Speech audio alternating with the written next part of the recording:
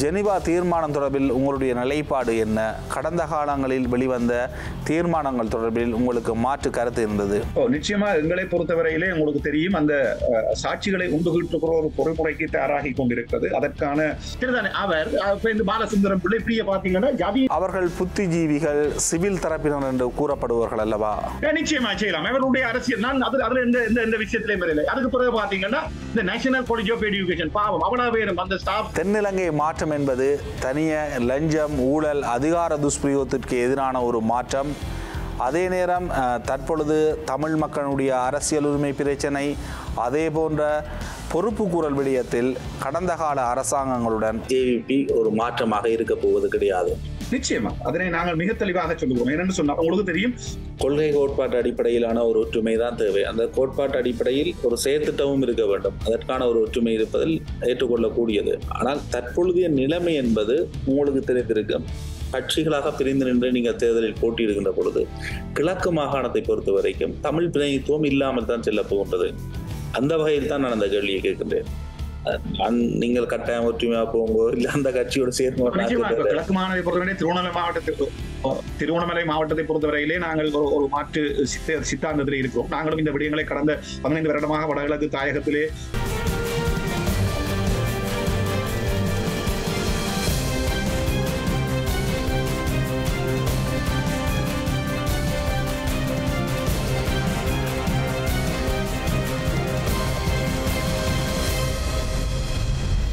வணக்கம். இது களம். மாற்றத்துக்கான குரல்.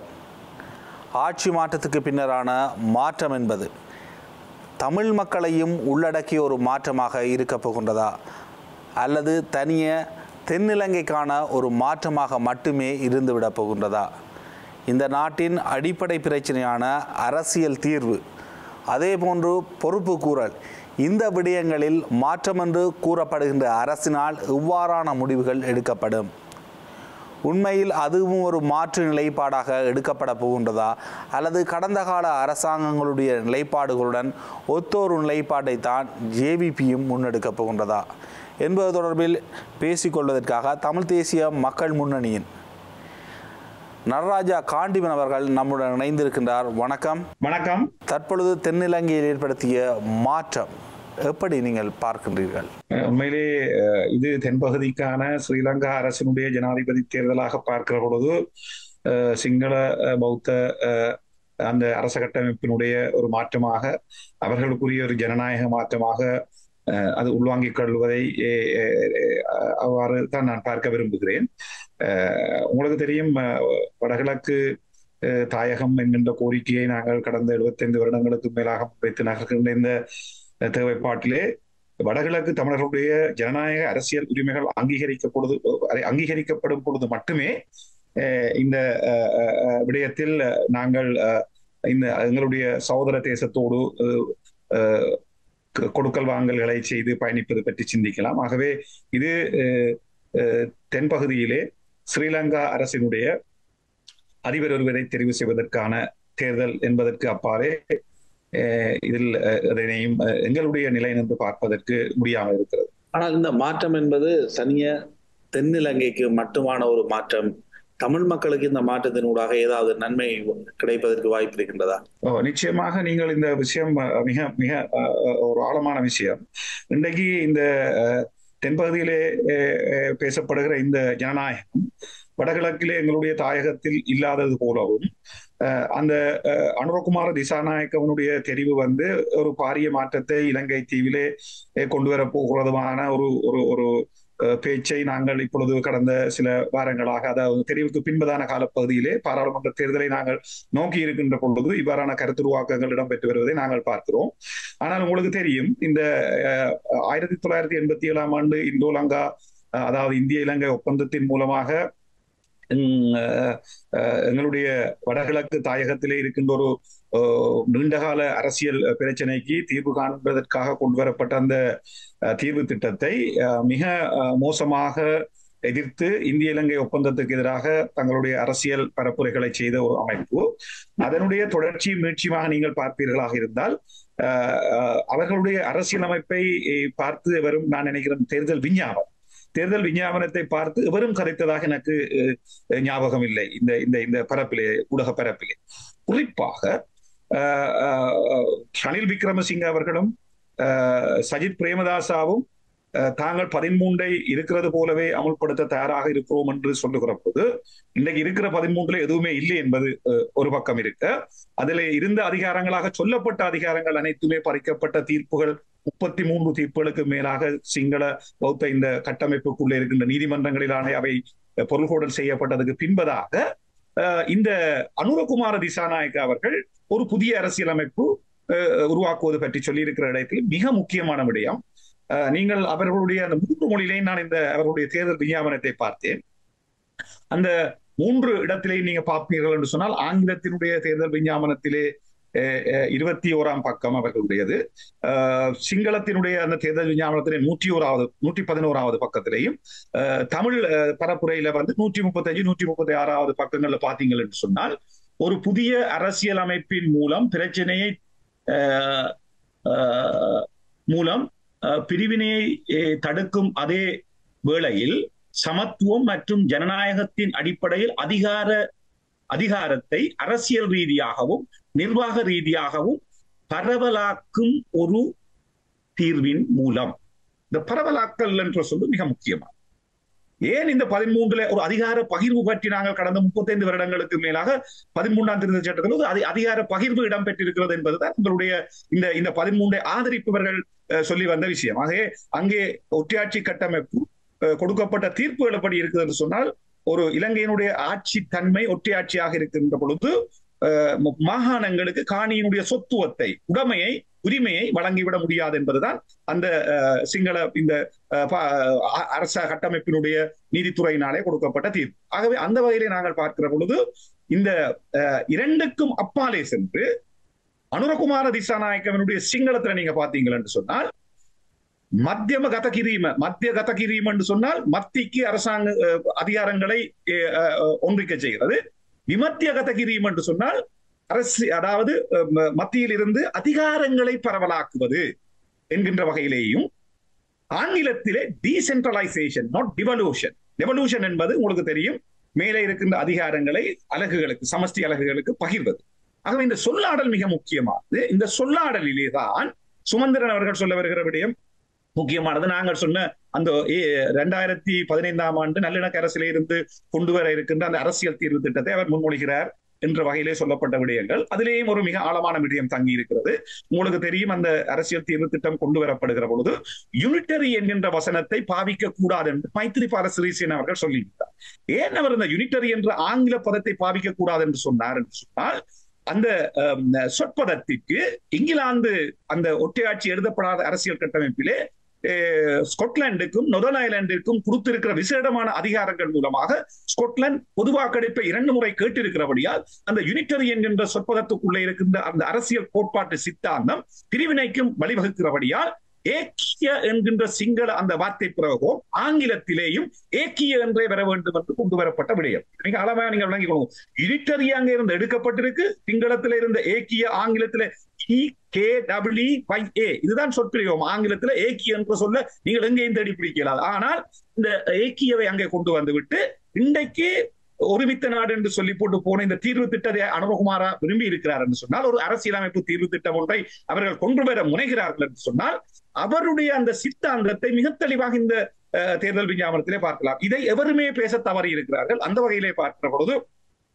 அனுரகுமாரனுடைய இந்த இன்றைக்கு வெளிவிவகார அமைச்சராக அல்லது இந்த அமைச்சுகளை பொறுப்பேற்றிருக்கிற விஜித ஹேரத் அவர்களுடைய இரண்டாயிரத்தி பத்தொன்பதாம் ஆண்டு அவர் வெளியிட்ட ஊடகம் சார்ந்து என்பிபிஏ அவர்கள் இந்த தேர்தலை சந்திக்கிற பொழுது இரண்டாயிரத்தி பத்தொன்பது இருபதாம் ஆண்டு வாக்கிலே அவர்கள் சொல்லுகிறார்கள் வடக்கு கிழக்கு என்பது இரண்டு மாநிலங்கள். அதனை சேர்த்து கேட்கின்ற அந்த தாயக பரப்பு என்பது பிரிவினவாதிகளுடைய கோரிக்கை. ஆகவே இந்த பிரிவினவாத கோரிக்கையை நாங்கள் முற்றாக மறக்கிறோம் என்பது விஜிதகேரத்தினுடைய நிலைப்பாடாக இருக்கலாம் அனுரகுமார திசாநாயக்கனுடைய நிலைப்பாடாக இருக்கலாம் ஜேவிபியினுடைய நிலைப்பாடாக கூட இருக்கலாம். ஆனால் அது அந்த நிலைப்பாட்டை சொல்வதற்கு அவர்களுக்கு அரசியல் உரிமை இருக்கிறது. அதே போல எங்களுடைய இனப்பிரச்சனைக்கான தீர்வாக நாங்கள் வேண்டி நிற்கிற தீர்வை நாங்கள் அஹ், சொல்வதற்கும் எங்களுக்கு அனைத்து தகுதிகளும் குறித்தும் இருக்கிறது.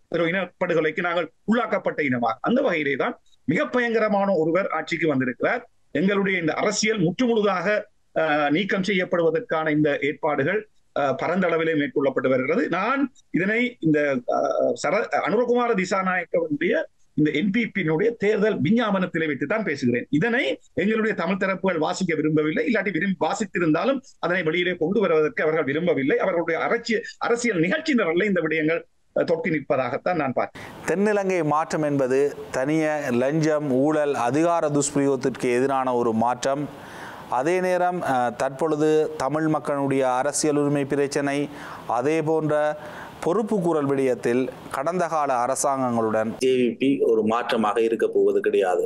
நிச்சயமா. அதனை நாங்கள் மிக தெளிவாக சொல்லுகிறோம். என்னன்னு சொன்னா உங்களுக்கு தெரியும் புலிகளுடைய கட்டமைப்பு சந்திரிகா பண்டாரநாயக குமாரத்துங்க அவருடைய காலப்பகுதியிலே இவர்கள் அந்த அரசிலே முப்பத்தி ஒன்பது உறுப்பினர்களை கொண்டு பங்கேற்றிருந்த பொழுது அஹ், புலிகளினுடைய அந்த சுனாமி கட்டமைப்பை உருவாக்குவதற்காக அவர்கள் முனைந்த பொழுது அரசிலிருந்து ராஜினாமா செய்து வெளியே போனவர் தான் நவகுமார திசாநாயக்.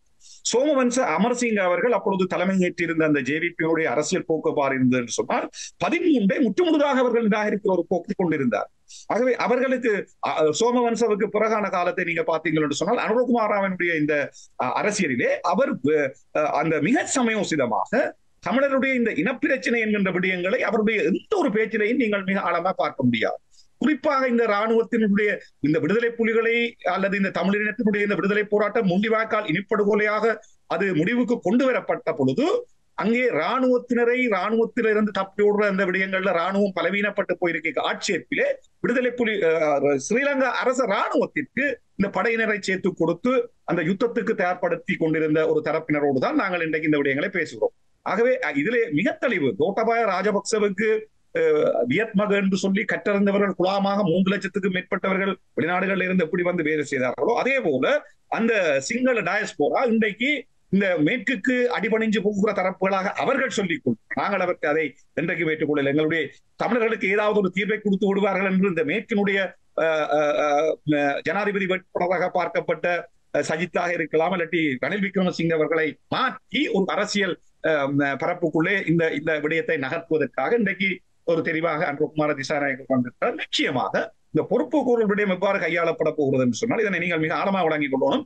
ஜேவிபி வந்து ஒரு சிங்கள இன மக்களுக்கு இடையில ஒரு ஜனநாயகத்தை சமூக நீதியையும் சமத்துவத்தையும் பேணுவதற்காக ஒரு அரசியல் போராட்டத்தை நடைபெ நடத்தி சிங்கள ராணுவம் சிங்கள மக்களை கொண்டு ஒழித்ததாக வோ கிரைம்ஸ் என்ற வகையிலே ஒரு ஒரு ஒரு ஒரு ஒரு போர்க்குற்றமாக பார்க்கிற போகும் போகம் இலங்கை இலங்கையர்கள் எல்லோரையும் ஒன்றுக்குள்ள நாங்க கொண்டிட்டோம் என்று சொன்னால் அது போர்க்குற்றமாக மாற்றப்பட்டது அதாவது போர் நடைபெற்றது நடைபெற்றிருக்கிறது. ஆனால் அங்கே போருக்குரிய அந்த மனிதமான சட்டங்களை முறையாக அமுல்படுத்தாத வகையிலே போர் குற்றமாக தான் கருதப்பட முடியும். இங்கே நாங்கள் தேசமாக ஒரு தமிழர் தேசம் மீது சிங்கள தேசம் படையெடுத்து முற்றுமுழுதான சிங்கள ராணுவம் சிங்கள இனத்தவர்களை கொண்ட ராணுவம் ஒரு இன அழிப்பு செய்திருக்கிறது என்று சொன்னால் இந்த இன அழிப்புக்கு மேலே கட்டி எழுப்பப்பட்டிருக்கின்ற இந்த நீதி என்பது மறுக்கப்படுகிற ஒரு அரசியல் அஹ், கைங்கரியத்துக்குள்ளேதான் மேற்கு அஹ், அனுரகுமாரவை பாவிக்க வேண்டிய ஒரு சூழலிலே நிச்சயமாக இன்றைக்கு ஐக்கிய ஐக்கிய நாடுகள் மனித உரிமைகளுக்கு முன்னாலே இருக்கின்ற இந்த பொறுப்பு கூறல் விடயங்களாக இருக்கலாம்.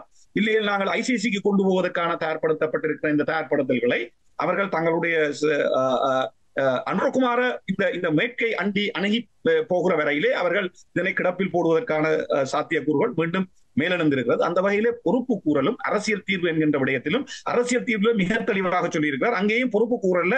இந்த உண்மைகளை கண்டறிய வேணும் காணாமல் போன அம்மா அவர்களை இந்த விடயங்களை பற்றி இன்றைக்கு நீலி கண்ணீர் வடிக்கிற அனுபகுமார திசாநாயகவுக்கு கடந்த பதினான்கு வருடங்களாகவும் ஓட்டுல மக்கள் நின்றது தெரியவில்லை.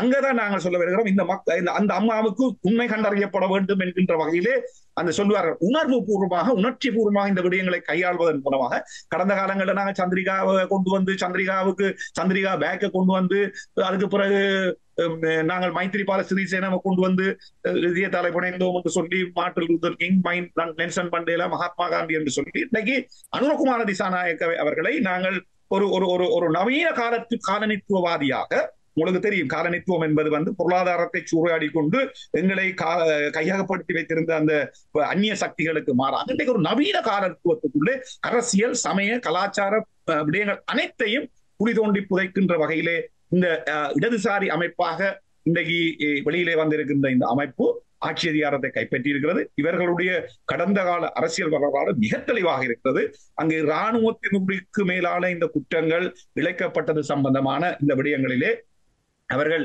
சர்வதேச தேசத்தோடு இன்றைக்கும் ஒத்துழைக்க மாட்டார்கள். இனி வருகிற இந்த பாராளுமன்ற தேர்தல் ஒரு பாரிய சவாலாக தமிழினத்துக்கு இருக்க போகிறது. அந்த வகையிலே தான் நாங்கள் இந்த இந்த அனுரகுமார திசாநாயக்கவினுடைய அல்லது எதிர்காலத்தில் அமையப்போகிற இந்த பாராளுமன்றத்திலே ஈழ தமிழினத்தினுடைய விடயங்களை நாங்கள் முன்னிறுத்துவதாக இருந்தால் நீங்கள் ஏற்கனவே சொன்னது போல இந்த இனப்படுகொலை அதற்கான பொறுப்பு கூறல் அந்த பொறுப்புற கூறல் முறையின் மூலமாக இனப்படுகொலை ஒன்று இடம்பெற்றது என்பது இன்றைக்கு நிரூபிப்பதற்கான சான்றுகள் நூற்றுக்கு நூறு விதத்துக்கு எங்களிடம் இருக்கிறது என்பதனை இன்றைக்கு ஐசிசிக்கு முன்னால் போயிருக்கிற வழக்குல சப்மிஷன் ஒன்று பதினைஞ்சாம் உறுப்புரைக்கு கீழே அங்கே தாக்கல் செய்யப்பட்டிருக்கிறது.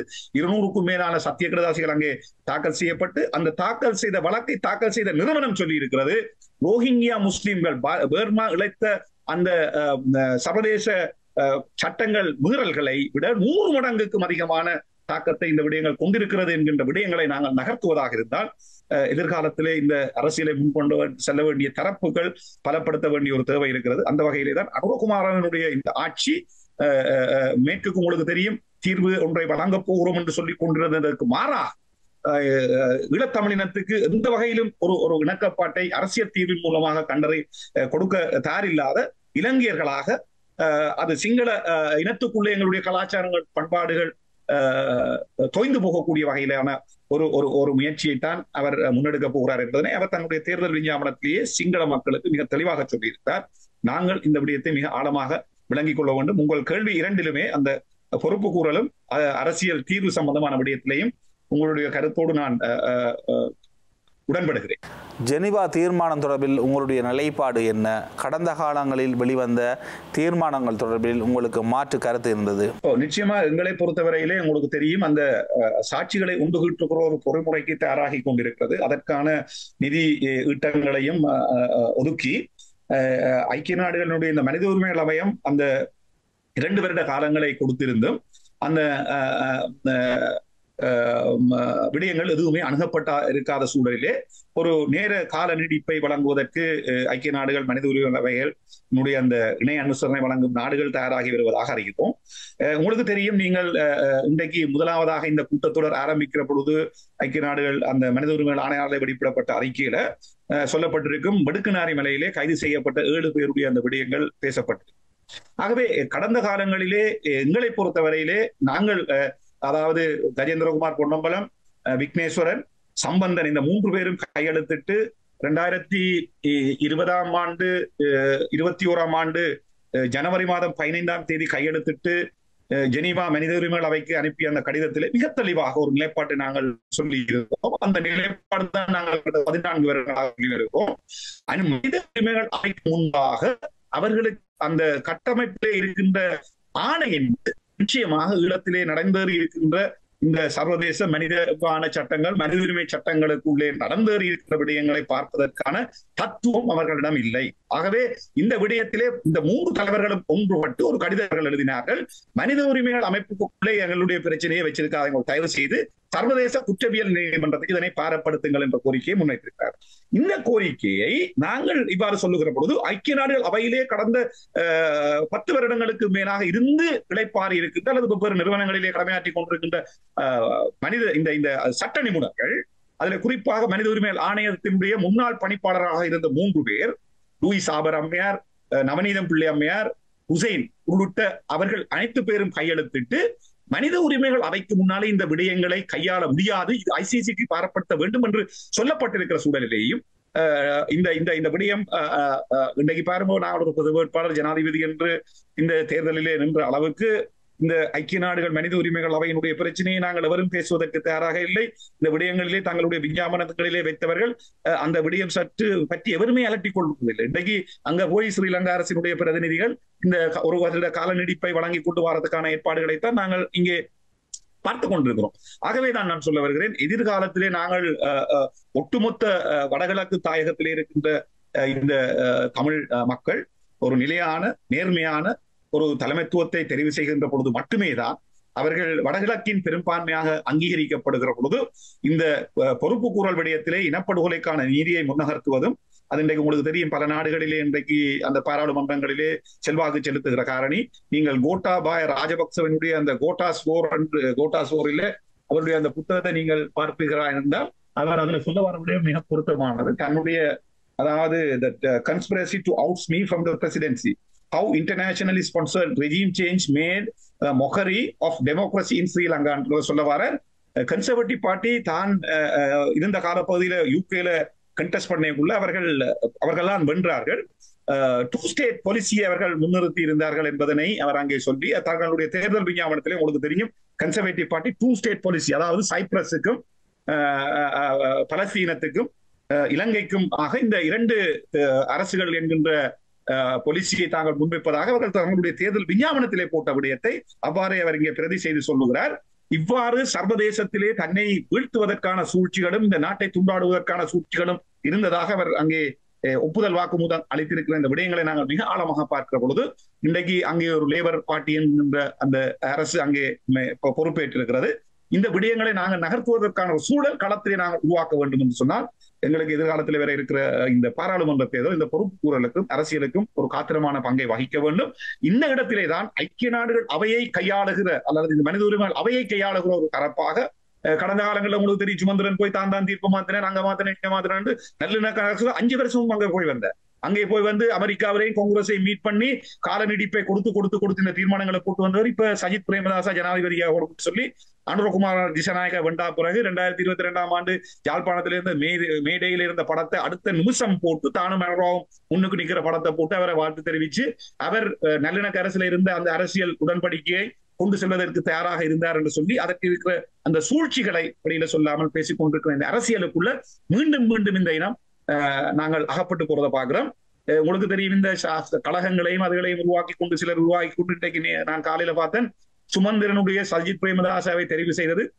மிகச் சிறப்பானது என்று சொல்லி ஒரு கழகத்தை நடத்துகிற ஒருவர் கம்பன் கழகத்தை நடத்துகிற ஒருவர் இன்னைக்கு டக்ல தேவானந்தாவுக்கு பின்னால மைத்திரிக்கு தசரதன் என்று சொல்லி முடிசூட்டி தன்னுடைய விழாக்களிலே அழகு பார்த்துவிட்டு கொண்டு வருகிற இடங்கள் நீங்கள் மன்னிச்சு கொள்ளுங்கள். முழு பொறுப்பை நான் நிற்கிறது இந்த பெயர்களை நாங்கள் பேசி ஆக வேண்டும் இவ்வாறான இந்த விடயங்களிலே இந்த கம்பவாரதி என்பவர் இந்த இந்த இந்த இந்த இந்த இந்த இடத்திலே மீண்டும் மீண்டும் மீண்டும் ஒரு ஈனமான ஒரு அரசியலை அவர் செய்ய முயற்சிக்கிறார். இது இந்தியாவினுடைய ஐக்கிய நாடுகள் பிரதிநிதி வந்து இந்தியாவுக்கு இந்த வாக்களிப்பில் எங்களுடைய தீர்மானத்தினுடைய வாக்களிப்பை அங்கே மேற்கொள்ளும் பொழுது அவர்கள் அப்டெயின் பண்ணுவார்கள் என்று சொல்வார். அதாவது அந்த வாக்களிப்பிலிருந்து விலத்துவதற்கு முன்பதாக ஒரு அறிக்கையை அவர்கள் தங்களுடைய ராஜதந்திரமாக பாவிக்கிறார்கள். என்ன என்று சொன்னால் நாங்கள் வாக்களிப்பிலிருந்து விலகிக் கொள்கிறோம் என்று சொல்லி அவர்கள் சொன்ன விடயம் இது இருபத்தி மூன்று மார்ச் ரெண்டாயிரத்தி இருபத்தி ஒன்று right Uh, India supports the call by the international community for the government of Sri Lanka to fulfill its commitments on the devolution of political authority, including through the early holding of elections for provincial council and to ensure that provincial council are able to operate effectively in accordance with the 13th amendment to the Sri Lankan constitution. அப்ப பதிமூணாம் திருத்த சட்டத்துல இந்த மாகாண சபையில எலெக்ஷனை நடத்தி செய்யறதுக்கு நீங்கள் அனுமதிக்க வேண்டும் என்று சொல்லி அவர்கள் அந்த வாக்களிப்பில் இருந்து விலகி கொண்டு இந்த தீர்மானம் வந்ததுக்கு பிறகு எங்களுடைய இந்த வடகிழக்கில் இருக்கிற அரசியல் தரப்புகள் மூன்று பேர் சேர்ந்த இன்றைக்கு ஒரு பொது கட்டமைப்பாக இருக்கிற வகையில தான் எங்களுடைய அரசியல் நகர்ந்து கொண்டிருக்கிறது உங்களுக்கு தெரியும் கடந்த காலங்களில் இந்த தூதுவர்களையும் சிங்கள தலைவர்களையும் சந்திச்சு இந்த மக்கள் மனு என்று சொல்லி ஒரு மனுவை கொண்டு போய் போட்டவர்களை உங்களுக்கு தெரியும். அந்த மக்கள் மனுவில தான் இந்த இந்த விடயம் நான் இருபத்தி பன்னெண்டு ஜூலை ரெண்டாயிரத்தி இருபத்தி மூணு இந்த மக்கள் மனுவில நரேந்திர மோடிக்கு சொல்லுகிறார்கள் இந்த பதிமூன்றை நீங்கள் அமுல்படுத்துறதுக்கு தொடர்ந்து வேலை செய்கிறீர்கள். எங்களுடைய தமிழ் தேசிய தலைமைகள் ஈழ தமிழினத்துக்கு இந்த அரசியலை செய்ய தயாராக இல்லை. எங்களுக்கு இந்த தமிழ் தலைமைகள் மீது நம்பிக்கை இல்லை. ஆகவே நீங்கள் இந்த பதிமூன்றாவது திருத்த சட்டத்தை முற்றுமையாக அமுல்படுத்திட்டாங்க சொல்லி we are fully aware that the government of India has been consistently calling for the full implementation of the 13th Amendment and to have a functioning provincial council in the Tamil provinces. இது யார் கேட்கணும் இது யார் கேட்கணும்னு பார்க்கணும். யார் கையெழுத்து வச்சு அந்த இந்த கோரிக்கை வைக்கணும்? ஸ்ரீல ஸ்ரீ ஞான சம்பந்த பராமாச்சாரிய சுவாமியர் அவருக்கு நல்லூர் ஆதீனத்துல தானே ஐயா வயல சரிதானே கிங்ஸ்லி சுவாமி பிள்ளை ஐயா. இது மதிப்புக்குரிய இந்த பிஷப் ஆண்டகைகள் எல்லாரும் இன்றைக்கு நாங்கள் இனப்படுகொலை நடந்ததுன்னு சொல்லி அந்த முள்ளிவாய்க்கால் நிகழ்வுகளை நடத்துற இந்த பெருந்தகைகள் எல்லாரும் இன்றைக்கு இப்படியே நான் வாசிக்கலாம். பத்மநாதன் பேரா வேந்தர் பத்மநாதன். வேந்தர் பத்மநாதனுக்கு பல்கலைக்கழகத்தினுடைய வேந்தர். சரிதானே அவர் இந்த பாலசுந்தரம் பிள்ளை இப்படியே பாத்தீங்கன்னா ஜாதி அவர்கள் புத்திஜீவிகள் சிவில் தரப்பினர் என்று கூறப்படுவார்கள் அல்லவா? நிச்சயமா செய்யலாம். அவருடைய அரசியல் நான் அது அதுல எந்த எந்த எந்த விஷயத்திலையும் அதுக்கு பிறகு பாத்தீங்கன்னா இந்த நேஷனல் காலேஜ் ஆஃப் எஜுகேஷன் பாவம் அவ்வளவு பேரும் அந்த ஸ்டாஃப் அவ்வளவு பேருடைய பட்டியலும் இங்கே போடப்பட்டிருக்கிறது. அதே போல இப்படியே பாத்தீங்கன்னு சொன்னா கடைசியில ஒருவர் சைன் பண்ணி இருப்பார் கோஆர்டினேட்டர் என்று சொல்லி ஒரு ஒரு ஒரு டிவியை நடத்துகிற ஒரு ஒரு நிறுவனத்தினுடைய தலைவர். இதுக்கு பிறகு நான் இருபத்தொன்பது இது மிக முக்கியமானது இருபத்தொன்பது டிசம்பர் ரெண்டாயிரத்தி இருபத்தி ஒண்ணு இந்த கடிதங்கள் இதான் வரலாறு இது நரேந்திர மோடிக்கு இந்த ஆறு கட்சிகளுடைய தலைவர்கள் எழுதியிருக்கிற கடிதம் கையெழுத்தோட இருக்கு அதுல அந்த மஞ்சள்ல இருக்கிற இதையும் வாசிச்சு இதை வா- வாசிக்கிறேன் நான். In this situation, we appeal to Your Excellency to urge the government of Sri Lanka to keep its promises to number one, fully implement the provisions of the 13th Amendment to the Constitution. Number two, implement the clear commitments made by all sections of government from 1987 onwards. இது யார் சம்பந்தன் மாவசேனாதிராஜா விக்னேஸ்வரன் அடைக்கலநாதன் தர்மலிங்கன் சித்தார்த்தன் பிரேமச்சந்திரன் ஸ்ரீகாந்த் இந்த ஆறு பேரும் இந்த கடிதத்தை கையெழுத்திட்டு அனுப்பினதுக்கு பிறகுதான் ஐக்கிய நாடுகள் அவையில இந்த இந்தியா இந்த ஸ்டாண்ட் எடுக்குது. அதுக்கு பிறகு மக்கள் மனு என்று சொல்லி கொண்டு வரப்படுகிற இந்த மனுவை எல்லாத்தையும் கொண்டு வந்ததுக்கு பிறகு ஆனால் இந்த பொதுக்கட்டமைப்புல இவர்கள் உள்வாங்கி இருக்கிறார்கள் என்று சொன்னால் பொதுக்கட்டமைப்பிலையும் அவர்கள் சொல்லுகிறார்கள் நாங்கள் பதிமூன்றை போடுவது சம்பந்தமாக நாங்கள் அஹ், கலந்து ஆலோசித்த போது கட்சிகள் அதனை முற்று முழுதாக நிராகரித்து விட்டது. என்ன பதிமூன்று நிராகரிக்கிற என்ற வசனம் அங்க போட்டால் நாங்கள் இதுல கையில் இந்த இந்த இந்த கட்டமைப்புகளை நிற்க மாட்டோம் என்று சொன்னதுக்காக சமரசம் செய்ததாக நிலாந்தன் அவர்கள் குறிப்பிட்டார். நீங்கள் கூறுவதை போன்று சிவில் தரப்புகள் அல்லது இந்த புத்திஜீவிகள் என்று கூறப்படுபவர்கள் அனைவரும் பதிமூன்றாம் திருத்தத்தை நிராகரித்தார்கள் என்று நான் கூறவில்லை. அல்லது பதிமூன்றாம் திருத்தம் தொடர்பில் அவர்களுக்கு ஒரு மாற்றம் மாற்று கருத்து இருப்பதாகவும் நான் கூறவில்லை. என்னுடைய நிலைப்பாடு என்பது அல்லது நான் கேட்க விரும்புவது அவர்களால் அவர்கள் ஒரு மாற்றத்தை தொடர்பில் அல்லது இந்தியாவுடன் பேசி யாருடன் பேசியோ அவர்களுடைய நிலைப்பாடு தொடர்பில் மற்றவர்களும் இணைந்து பணியாற்றக்கூடிய ஒரு சூழலை அல்லது மற்றவர்களும் அதனை தெரிவிக்கின்ற ஒரு நிலையினை கொண்டு செல்லக்கூடியதாக இருக்கின்றது. ஏன் தமிழ் தேசிய மக்கள் முன்னணியினால் அந்த மாற்றத்தை ஏற்படுத்த முடியாமல் இருக்கின்றது மற்ற தரப்புகளுடன்? நிச்சயமா. நீங்கள் அது நல்ல கேள்வி. பொருத்தமான ஒரு கேள்வி இந்த ஆவணங்களை உங்களை பார்த்து கொண்டு இருக்கிற மாதிரி கேட்குறீங்க கேள்வி இது. ஜனவரி ரெண்டாயிரத்தி இருபத்தி மூணாம் ஆண்டு இருபது டுவெண்டியத் ஜனவரி ரெண்டாயிரத்தி இருபத்தி மூணு. தெரியுதானே? நான் உங்களுக்கு எந்த ஆவணங்களும் தெரியவில்லை நான் என்ன பேச போறோன்றதும் உங்களுக்கு தெரியாது. Sixth of July twenty twenty three Shri Narendra Modi prime minister of India prime minister's office அவரை சந்திக்கிற பொழுதும் இது டாக்டர் ஜெய்சங்கர் வெளிவிவகார அமைச்சரை சந்திக்க பொழுதும் எங்களுடைய கட்சி அங்கே அவர்களுக்கு கையளித்திருந்த ஆவணம். இதைத்தான் தமிழ் தேசிய மக்கள் முன்னணி செய்தது அது ஜெனிவா இருக்கலாம் பாராளுமன்றமா இருக்கலாம். மக்கள்கிட்ட ஆணை ஒன்று எடுத்திருக்கிறோம்னா அந்த ஆணைக்கு செய்கிற அந்த பரப்புரையைத்தான் அது எந்த சந்திப்பிலையும் எங்கேயுமே செய்து கொண்டிருக்கிறது. ஆனால் இங்க துரதிருஷ்டவசமாக ஏன் நான் இதை சொல்லவில்லை? ஆகவே எங்களுடைய தரப்பினர் இந்த இந்தியாவினுடைய நிறைய வெளிவிவகார அமைச்சர் ஜெயசங்கர் நிலைப்பாட்டை அவர்களுக்கு தெரிவிக்கும் இந்த குற்றச்சாட்டு அந்த இடத்துல நான் சொல்ல வருகிறேன். இந்த இந்த இந்த கட்டமைப்புகள் வந்து சின்னமாக விக்னேஸ்வரனை கொண்டு வந்தார்கள். இந்த தமிழ் தேசிய தரப்பிலே இருந்து ஒரு ஒரு ஒரு ஒரு மாற்று ஒரு தேசியத்தை முதலாக சொல்லிக் கொண்டு நாங்கள் அடையாளம் கொடுத்த ஒருவர் தான். விக்னேஸ்வரன் அவர்கள். அதற்கு பிறகு சின்னத்துக்கு பிறகு குத்து விளக்கு என்று சொல்லி ஒரு ஜனநாயக கட்டமைப்பு கட்டமைப்பில் விலகி இருந்தவர்கள் இப்பொழுது சங்கு சின்னத்தை என்று அவர்களுடைய இந்த ஜனாதிபதி தேர்தலுக்குள்ளான அவர்களுடைய அறிமுகம் என்பது இந்த பாத்திரத்திலே இனி வருகிற இந்த வடக்கு கிழக்கிலே இடம்பெற போகிற உள்ளூர் காங்கிரஸ் கட்சி அவுடேட்டடாக தமிழ் தேசிய கூப்பு அவுட் பொழுது தமிழ் தேசிய மக்கள் முன்னணி பலம் பெற்று விடக்கூடாது என்கின்ற நகர்த்தல்லதான் இந்த தரப்பு இந்த தமிழ் தேசிய பரப்பிலிருந்து நீக்கப்பட வேண்டும் என்கின்ற நிலைப்பாட்டிலே இயங்குகின்ற இந்த சர்வதேச தரப்புகளுக்கு இந்த நபர்கள் வைக்கப்படுகிறார் இந்த இந்த ஏன் தமிழ் தேசிய மக்கள் முன்னணியினால் அந்த மாற்றத்தை ஏற்படுத்த முடியாமல் இருக்கின்றது மற்ற தரப்புகளுடன்? ஓ இப்பொழுது நீங்கள் ஒரு மிக பொருத்தமான ஒரு கேள்வியை கேட்டிருக்கிறீர்கள். தமிழ் தேசிய மக்கள் முன்னணி இந்த பிரச்சனை இந்த இந்த அவர்கள் பதிமூன்றுடைய நிலைப்பாட்டோடு இருக்கிறவர்கள் தான் தமிழ் தேசிய அரசியல் பரப்பிலே செய்து கொண்டிருக்கிறார்கள். ஆனால் உங்களுடைய நிலைப்பாட்டை நீங்கள் இந்த தரப்புகளுக்கு சொல்வது சம்பந்தமாக என்ன நடவடிக்கை எடுத்திருக்கிறீர்கள்? எங்களை பொறுத்தவரையிலே கடந்த நான்கு வருடங்களுக்கு மேலாக எங்களுடைய தலைமைத்துவம் கஜேந்திரகுமார் பொன்னம்பலம் தலைமையிலே மக்களிடம் நாங்கள் பெற்ற தேர்தல் ஆணைக்கு அமைவாக அஹ், நாங்கள் பாராளுமன்றத்திலும் சரி சர்வதேச தரப்புகளை சந்திக்கின்ற பொழுதும் சரி வாக்குகளை பெறுகிற பொழுது எங்களுடைய மக்களுடைய அல்லது கலந்துரையாடல்களை மக்களோடு செய்கிற பொழுது மக்களோடும் சரி அனைத்து பேரோடும் நாங்கள் கதைக்கிற பொழுது ஒரே விடயத்தை தான் நாங்கள் முன்வைக்கிறோம்.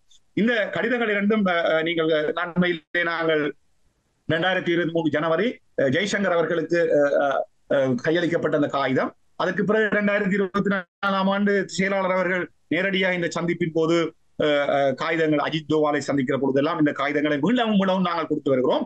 Urging India support for a federal constitution in Sri Lanka that recognizes and safeguards the Tamil தமிழர் தேசத்தினுடைய தேசத்தை அங்கீகரிக்கின்ற வகையிலும் அதனை பாதுகாக்கின்ற வகையிலுமான ஒரு தீர்வு திட்டத்தை இந்திய அரசு எங்களுக்கு பெற்றுத்தர வேண்டும். நாங்கள் ஒரு இன அழிப்பை சந்தித்திருக்கிறோம் இலங்கை அரசியலுடைய கட்டமைப்பு என்பது ஒற்றையாட்சிக்கு கீழே பதிமூன்றாவது திருத்த சட்டம் முப்பத்தி நான்கு வருடங்களுக்கு மேலாக தோல்வியடைந்த உண்டாகவும் அந்த சட்டம் அமலில் இருக்கும் போதுதான் ஒரு இனப்படுகொலை நடந்தது இருக்கிறபடியால் எங்களுடைய தேச கட்டமைப்பை பாதுகாப்பதற்கான ஒரு பொறிமுறையை ஏற்படுத்தி தர வேண்டும் என்று நாங்கள் கடந்த பல வருடங்களாக சொல்லி வருகிறோம் அந்த இடத்திலே தான் நாங்கள் சொல்லி வருகிறோம் பதிமூன்றாவது திருத்த சட்டத்தை கோருகின்ற தரப்பினர் மிக வெளிப்படையாக இந்த விடயங்களை கூறுகிற பொழுது தேர்தல் விஞ்ஞாபனத்திலே மட்டும் வடகிழக்கு தாயகம் அஹ், சுயநிர்ணய உரிமை தேச அங்கீகாரம் என்று எல்லாம் பேசி மக்கள் ஆணைக்கு முரணாக செயற்படுகிற இந்த விடயங்களை நாங்கள் வெளிப்படுத்தி ஆக வேண்டிய ஒரு தேவை இருக்கிறது. அந்த வகையிலே தான் அது மீனாக இருந்து விக்னேஸ்வரன் எங்களுக்கு எதிராக போட்டு அது புரிகிறது. என்ன- என்னால் அதனை புரிந்து கொள்ளக்கூடியதாக இருக்கின்றது. நீங்கள் பதிமூன்றாம் திருத்தத்தை ஏற்றுக்கொள்ளவில்லை அதனை நிராகரிக்கின்றீர்கள் என்பது எனக்கு தெரியும். அதே போன்று உங்களுடைய நிலைப்பாடு தொடர்பிலும் எனக்கு சந்தேகம் கிடையாது. ஆனால் உங்களுடைய நிலைப்பாட்டை ஏன் பிற தரப்பினரால் ஏற்றுக்கொள்ள வைக்க முடியாமல் இருக்கின்றது? நாட்டு உங்களுடைய போட்டி கட்சிகளை நான் கூறவில்லை. இந்தியாவினுடையோ அல்லது வெளிநாடுகளுடையோ அல்லது தென்னிலங்கையிலேயோ ஏன் அப்படியான ஒரு மாற்றம் இணைந்து வரக்கூட முடியாத ஒரு சூழல் தொடர்பு ஓ இதுல அந்த அதை சொல்வார்கள் இந்த நீங்க கேட்டு கண்ட ஒரு கேள்வி கேட்டீங்களேன்னுட்ட பொறுப்பு கூறலும் அரசியல் தீர்வு என்ற விடயத்தை சொன்னீங்க. அது இயல்பாகவே இந்த இரண்டு விடயங்களும் ஒன்றோடு ஒன்று பின்னி பிணைந்த விடயங்கள்.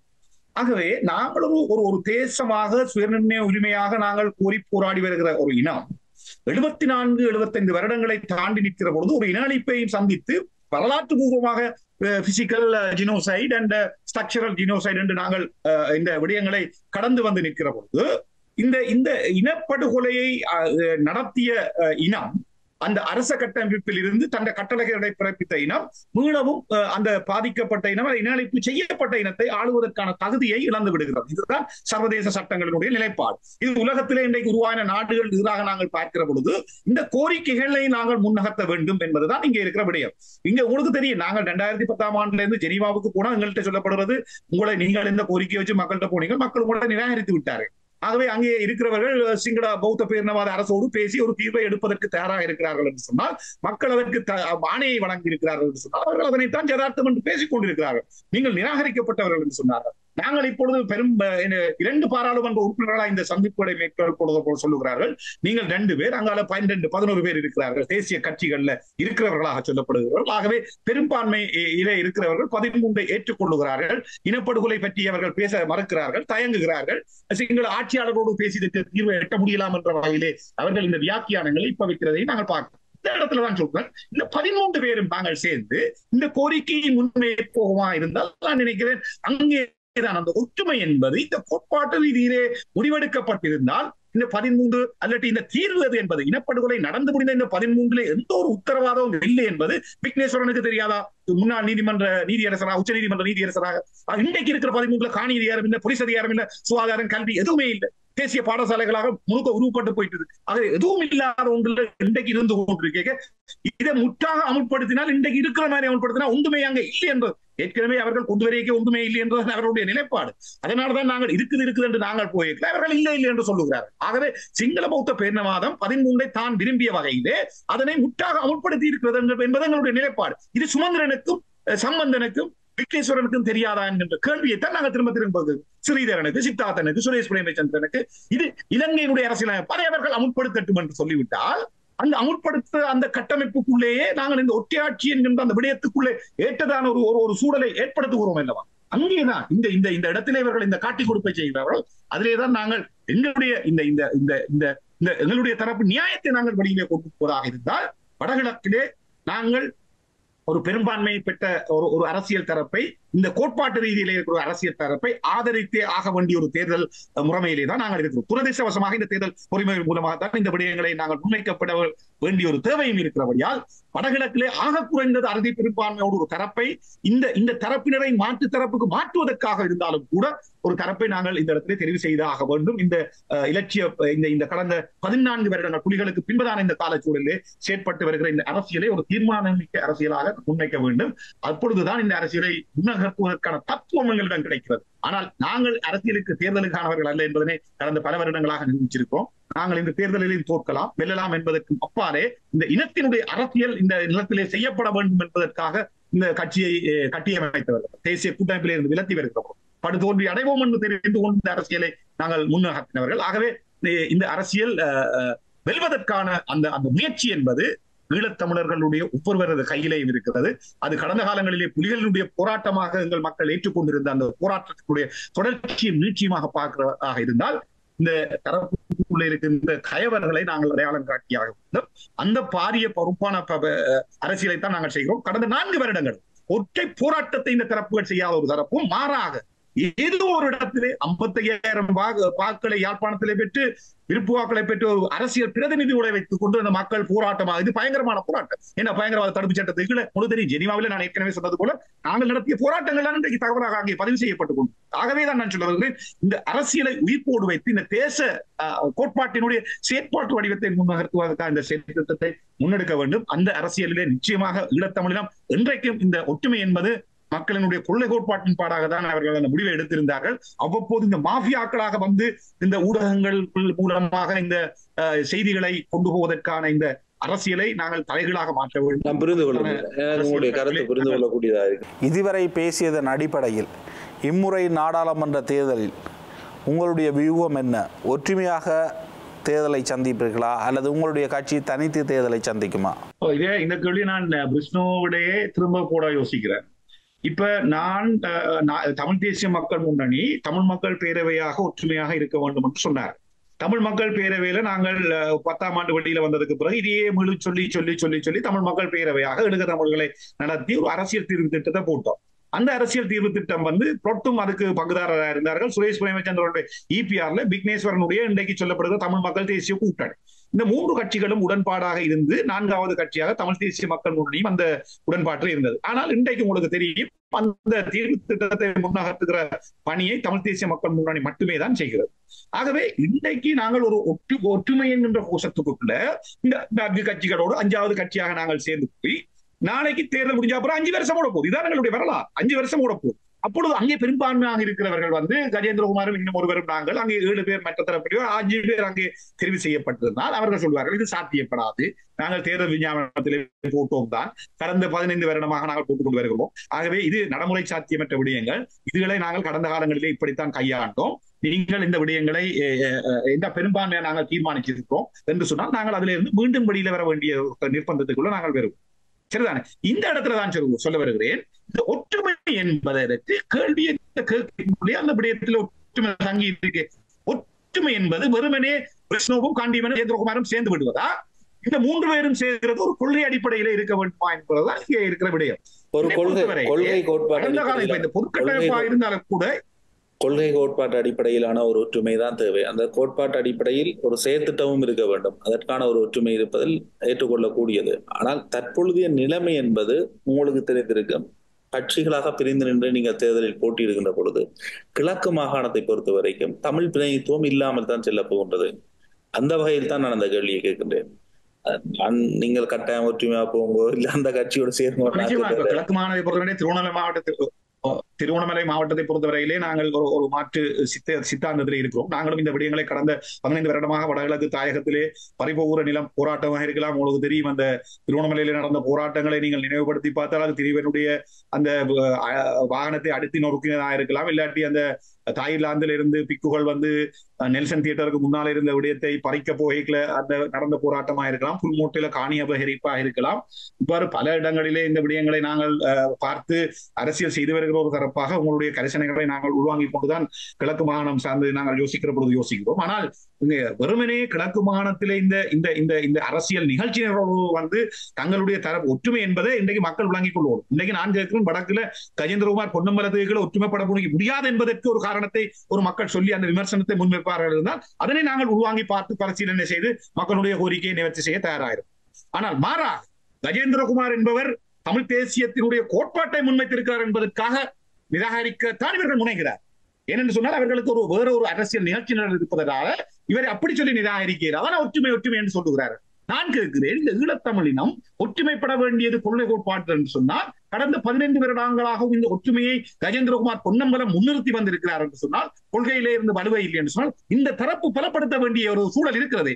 ஏன் அந்த மாற்று தரப்பு அந்த மாற்று தரப்புல இருக்கிறவர்களுக்கு சொல்ல வேணுமே? இல்ல நீங்கள் கஜேந்திரகுமாரோட சேர்ந்து இந்த கட்சியில சேர்ந்து பயணிக்க நீங்க வேட்பாளராக இருக்கும் என்று சொன்னால் அதுல கேட்டு அந்த கட்சியில இருந்து அதை பலப்படுத்தும் கொண்டு சொல்லுகிற வகையில தானே இந்த மக்கள் தீர்மானிக்க வேண்டும். ஆனால் அது நடக்குது இல்லையே இந்த கட்சி இல்லை அது உங்களுடைய கட்சியினுடைய தேர்தல் வியூகமாக இருக்க வேண்டும் கட்சியினுடைய வியூகமாக இருக்க வேண்டும். நீங்கள் பலரை சந்திப்பதாக இருக்கும். பலர் உங்களுடன் இணைந்து கொள்வதாக இருக்கலாம். அல்லது புதியவர்கள் இணைந்து கொள்வதாக இருக்கலாம். அல்லது அது தொடர்பிலான கருத்துருவாக்கங்களை உருவாக்குவதாக இருக்கலாம். அனைத்தும் உங்களுடைய கட்சியினுடைய அடுத்த கட்ட நடவடிக்கை அது கட்சியினுடைய வியூகமாக இருக்க வேண்டும். மிக நாங்கள் தமிழ் பதிமூன்றாம் திருத்த சட்டத்துக்கு இன்றைக்கு பொது கட்டமைப்பில் போராடினவர்கள் முகப்புத்தகத்தில் போட்ட போராட்டம் தனித்தே தமிழ் தேசிய மக்கள் முன்னணி பொது கட்டமைப்புகளோடு சேர்ந்து செய்த போராட்டம். சரிதானே? இந்த பதிமூன்றாம் திருத்த சட்டத்துக்கு எதிராக வவுனியாவில் ஒரு பாரிய போராட்டம் யாழ்ப்பாணத்திலும் ஒரு பாரிய போராட்டத்தை நாங்கள் செய்தோம். இன்றைக்கு இந்த கொள்கை சார்ந்த நிலைப்பாட்டை நாங்கள் தயார்படுத்துகிறோம். எங்களுடைய ஒப்பந்தம் என்பதும் மக்களுடனானதுதான்.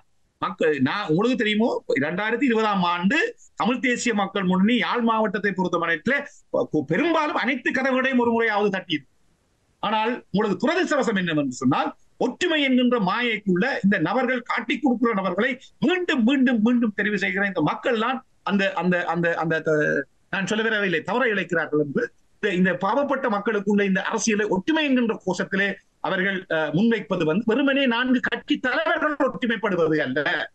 கட்சி தலைவர்களுடைய அந்த கொள்கை கோட்பாடு என்னவாக இருக்கிறது என்பதை நீங்கள் பார்த்து தனி ஒற்றுமை கோஷத்தை முன்வைக்கணும். அதுலதான் நான் சொல்ல வருகிறேன். தமிழ் தேசிய மக்கள் முன்னணியினுடைய கொள்கை பிரிஸ்னோ அது கஜேந்திரகுமார் பொன்னம்பலத்தின் கொள்கை அல்ல.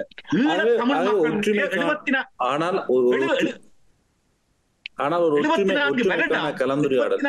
வருடங்களாக தமிழ் தேசிய இனத்தினுடைய அரசியல் கொள்கை நிலைப்பாட்டை தான் கஜேந்திரகுமார் பொன்னம்பலம் அவர்கள் இருபத்தி நாலாம் ஆண்டு வலியுறுத்துகிறார். இது அவருடைய ஈழத் தமிழினத்தினுடைய கொள்கை என்று சொன்னால் அந்த கொள்கையில இருக்கிற ஒற்றை தலைவனை பலப்படுத்துவதற்கு இருக்கிற குறைபாடு என்னென்றால் நான் கேட்கவா அந்த குறைபாடு சார்ந்து பேசுங்கள். கொள்கையிலே ஒரு பிழை இருக்கிறது நடைமுறை நகர்த்துவதற்கான புரிந்து கொள்ளக்கூடியதாக இருக்கு நான் கேட்பது என்றால் நீங்கள் ஒற்றுமைக்கு பிறதரப்பினரால் அழைப்பு விடுக்கப்படுகின்ற பொழுது நீங்கள் அந்த இடத்துக்கு செல்லாமல் தவிர்க்கின்றீர்கள். பகிரங்க கலந்துரையாடலை இந்த தரப்புகளுடன் நீங்கள் மேற்கொள்வீர்களா? ஒரு நேரலையில் இருந்து ஒற்றுமை தொடர்பில் அல்லது ஒற்றுமைக்கு வருகின்ற தரப்புகள் தொடர்பில் உங்களால் கலந்துரையாட முடியுமா? மக்களும் புரிந்து கொள்ளக்கூடியதாக இருக்கு. நீங்கள் மக்களுடைய கேள்வியை நிச்சயமாக கேட்கிறீர்கள் என்று எனக்கு விளங்கிக் கொள்ள முடியுது. விஷ்ணு உங்களுக்கே இந்த கேள்வி மக்களுடைய அந்த அந்த உள்ள கிடக்கிய வழியில கொண்டு வர வேண்டிய ஒரு கேள்வியாக படுவை நீங்க பாருங்க நாங்கள் பதினைஞ்சாம் ஆண்டு பதினாறாம் ஆண்டு இருந்தமே அப்பா. இந்த தமிழ் மக்கள் பேரவையில் இதே கட்சிகளோட தானே இருந்தோம். அதுக்கு பிறகும் அப்பா நாங்கள் இருபதாம் ஆண்டு இந்த மூன்று தரப்புகளும் மூன்று தலைமைகளையும் சேர்ந்து நான் சொன்னேன் ஐக்கிய நாடுகளுக்கு அமைஞ்சு ஒரு பி டூ பி போராட்டம் அந்த பிப்ரவரி மாதம் வரைக்கும் பதினஞ்சாம் தேதி ஜனவரி மாதம் கையெழுத்து போட்டு இந்த கடிதம் அனுப்ப எல்லாரும் சேர்ந்து விட்டார்கள் நம்பி வடகிழக்கு சமூகம் திரண்டெழுந்து வந்தது.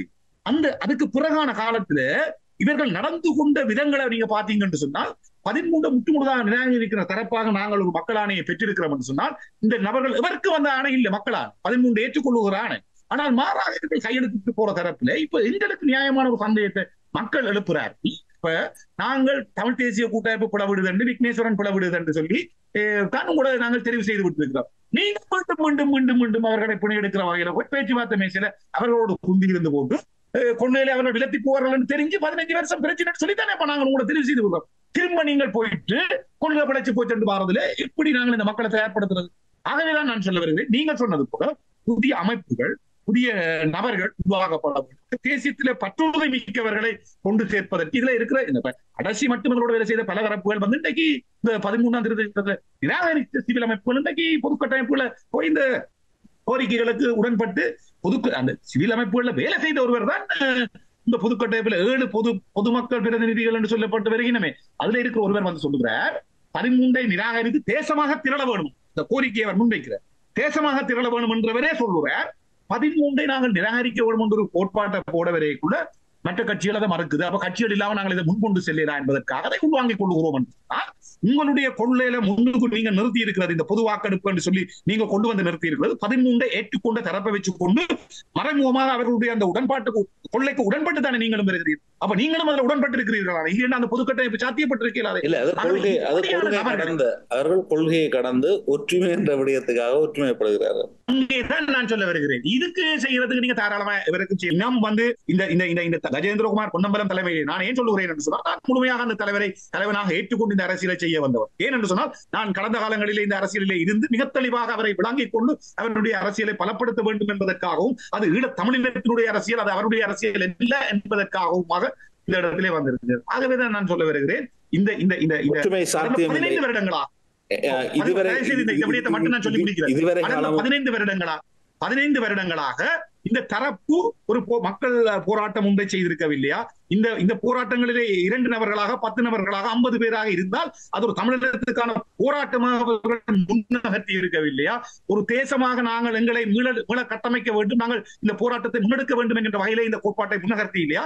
ஒரு சர்வதேசங்களோடு சந்திக்கிற பொழுது அந்த விடயங்களை அவர்கள் சொல்லி இல்லையா? எந்த வகையிலே இந்த இந்த தமிழ் தேசிய இனம் கஜேந்திரகுமார் பொன்னம்பலத்துக்கு பின்னாலே ஒன்றுபடக்கூடாது என்பதை இந்த மக்கள் சொல்லுவார்களாக இருந்தால் நாங்கள் நிச்சயமாக இந்த கட்சிகளினுடைய ஒற்றுமை தலைவருடைய ஒற்றுமை என்ற இந்த போலி ஒற்றுமைக்குள்ள போய் இந்த மக்களை அழி அழிக்க முடியும். ஆனால் அதுக்கு நாங்கள் தயாராக இல்லை. இதுவரை காலமும் இவர்களுடன் இணைந்து என்னுடைய அனுபவத்தின் அடிப்படையில் இனி ஒற்றுமையாக அஹ், செயற்படுவது என்பது சாத்தியமில்லை என்ற அடிப்படையில் நீங்கள் தனித்து தான் இம்முறை தேர்தலில் களம் காணப்போகின்றீர்கள் என்பது என்னுடைய புரிதலாக இருக்கின்றது.